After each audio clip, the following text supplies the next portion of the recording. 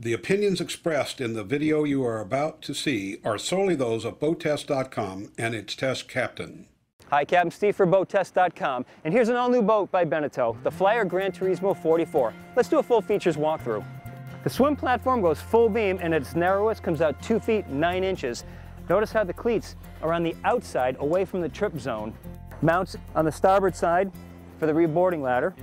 And there's a large sun pad going across, measures 7 feet 3 inches. Underneath, there's tender storage. Let's take a look. The tender garage is very easy to access once you step off the swim platform. Two feet, three inches of height, so you've got plenty of room inside, rollers easily deploy, and there's a winch inside. Obviously, we're in boat show mode storing the life jackets, but you can clearly see that underneath, we also have easy access to the twin Volvo Penta D6 370 horsepower engines. At the steps leading up to the side deck, you've got your two electrical connections for the ship's power and the air conditioning. Here's an optional feature on the steps on the starboard side, a reverse angle camera.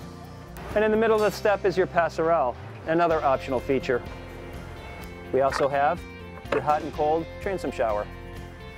The gate is a lift, opens inward, and in the closed position, I'd like to see a latch that can drop down into the teak deck to hold it in position. Notice how the swim platform and the steps, the cockpit deck, and the steps leading up to the side decks are all covered in teak.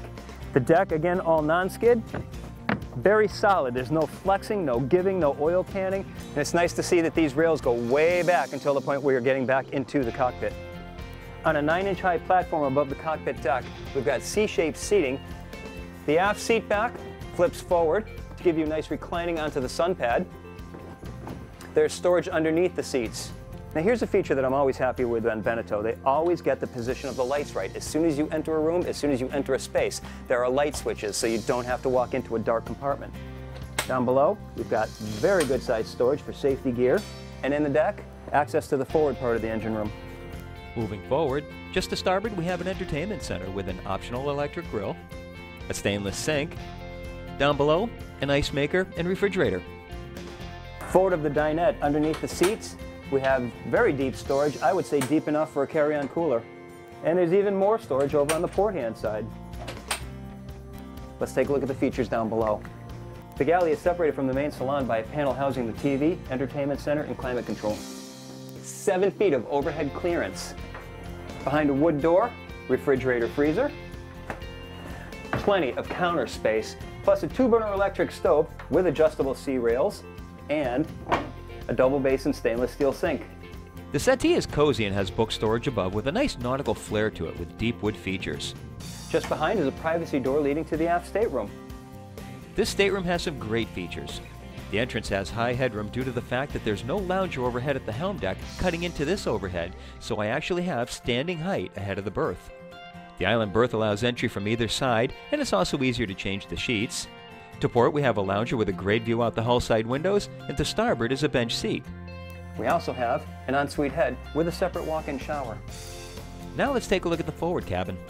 With an island queen accessible from both sides, storage to either side, large hull side windows with opening port lights, and another overhead hatch for ventilation and emergency egress.